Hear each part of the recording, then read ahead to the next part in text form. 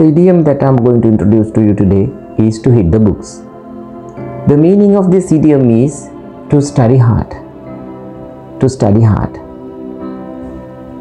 This is another little little quirky idiom or odd idiom because literally to hit means to uh, strike something physically. But this idiom does not mean that. The meaning, as I mentioned, is to study hard. To study hard. Well, uh, the origin of this idiom is not known, but some people say that, and in some sources, it is mentioned that it started somewhere in the uh, middle of 20th century, that is 1900s. you also can find a number of other idioms which start with the same verb hit. For example, to hit the nail on the head, to hit the sex are two good examples. And I'm going to introduce those idioms too in my uh, other presentations. Well, let's see how this idiom can be used in sentences. Example number one I hit the books all week, so I need to take a break now. I hit the books all the week, so I need to take some break now. මම සතිය පුරාම සෑහෙන පාඩම් කළා. ඒ නිසා මට දැන් පොඩි විවේකයක් අවශ්‍යයි. I hit the books all the week, so I need to take a break now. My ex- next example, number two. My friend never hits the books, even at exam times. You may also have friends like that. My friend never hits the books, even at exam times. මගේ යාළුවා කවදාකවත් මාංශින් පාඩම් කරන්න විභාගයක් හිටු වෙලා වුණා. Next, number three. If you don't hit the books, you never can pass the exam.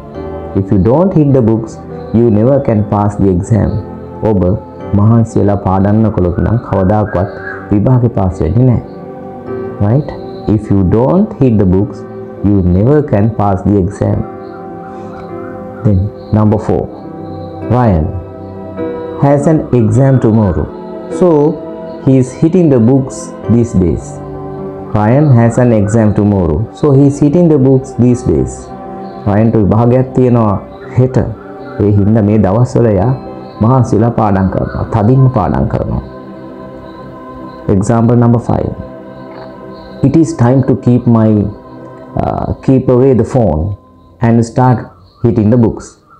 Your parents could say that. It is time to keep away the phone and start hitting the books.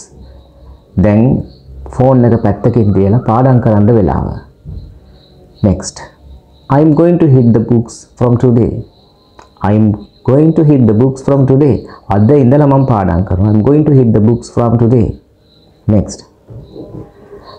I am going to hit the books with my friends because studying together is fun. I am going to hit the books with my friends. My యాలు ఉత్తేక పాడంకరండి because studying together is fun ఇక్కడ ఎక్కడ ఇలా పాడంకరనే కర్మ Vinod జనకాయ as some children do that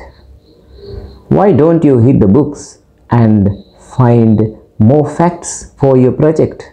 Why don't you hit the books and find more pa- facts for your project? ඇයි ටිකක් මහන්සිලා පාඩම් කරලා ඔයාගේ ව්‍යාපෘතියට ප්‍රොජෙක්ට් එකට කරු ටිකක් හොයාගන්න නැත්තේ? That's a good sentence. Why don't you hit the books and find more facts for your project? Number 9. I'm tired of hitting the books.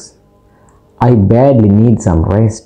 Yes, someone could say, I'm tired of hitting the books. දැන් ඉතින් මට එපා වෙලා මේ පාඩම් කරාම.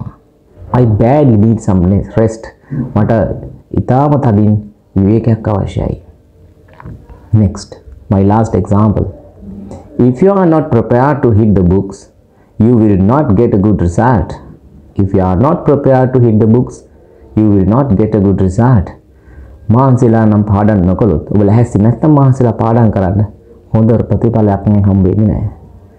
Well, watch this video again and listen to the examples and see how study how they have the, the idiom has been used in these sentences and i hope to come back with another idiom until then goodbye don't forget to subscribe the channel for more updates